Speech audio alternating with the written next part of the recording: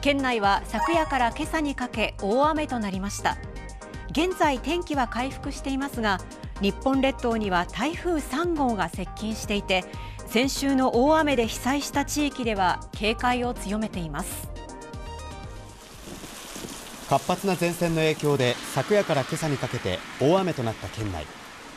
気象台によりますと昨日午後の降り始めからの総雨量は天城山で209ミリ御前崎で156.5ミリなどとなりました。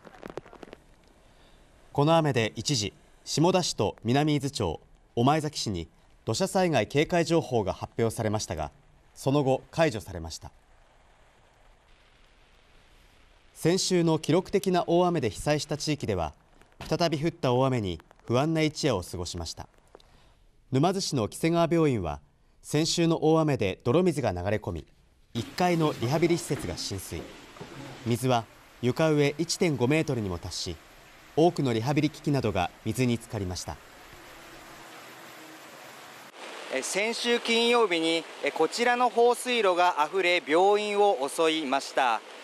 雨の影響で勢いよく鹿野川へ向かって流れています。市は昨日故障した排水ポンプに代わる仮の排水ポンプを設置また国交省の排水ポンプ車など5台を導入しました。加えて市の職員が交代で24時間体制で監視しています。ずっとここに張り付いてはいてあの、まあ、雨が強くなったりとかちょっと時間になったタイミングであの川の水位を異常がないかを確認はしていました。手動でポンプを動かさなきゃいけないのであの向こうにいて監視するよりもこっちで監視した方が行動が早いものですから。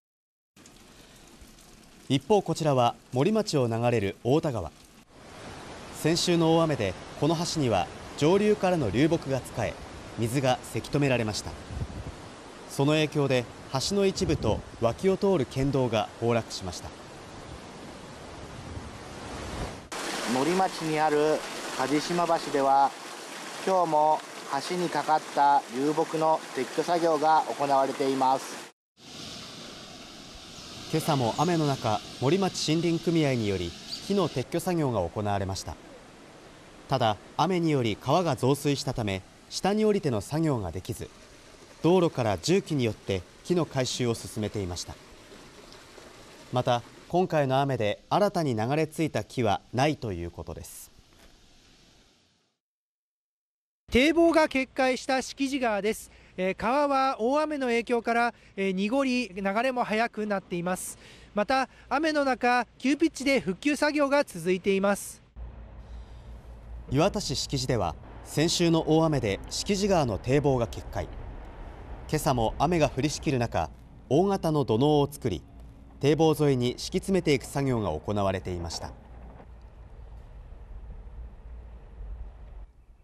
先週の大雨で磐田市では床上・床下浸水の被害が47件発生。1週間が経った今も住民の中には復旧作業などによる体や心の疲れを感じている人もいました。心配ですよね、いつまたあのあそこから何崩れるとかなっちゃうとね、うん、早急にやっぱしある程度やってもらわないと、うん、もう頑丈にやってもらわないとね、